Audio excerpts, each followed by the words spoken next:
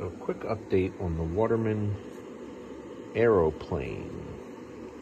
As you can see, the fuselage is sheeted. Not the best sheeting, but it's going to be covered, so I still haven't fully sanded it yet. But uh, fuselage is sheeted. Kind of a strange looking fuselage. Looks more like something should hang from the Hindenburg than anything else.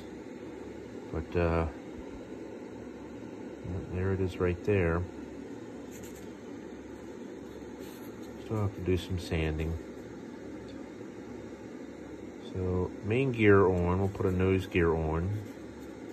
As you can see, I think we're gonna do this style nose gear. Whoops, right there.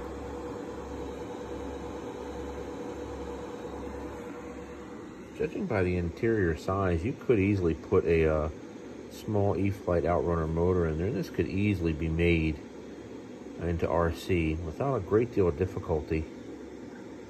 Although you can see, if you look very carefully, uh, right where that little pinhole is, that is actually where the prop is going to sit. So you can see it sits a little higher than the fuselage. Uh, so it would probably be a little difficult, but you know, I mean, probably get it to work. So, uh, but there is a motor block that sits. Show it to you right here.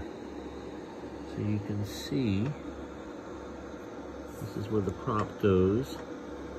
I suppose you could put a, a, a small E-flite outrunner right in there. But uh, once I'm done sheeting this, I'll go ahead and I'll start working on the wing. And there's our wing right there. Very straightforward. Nothing more than a simple flying wing, as you can see.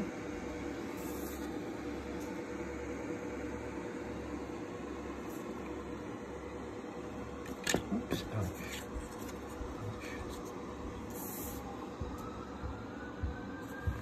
And I found this wonderful prop here in ParkZone.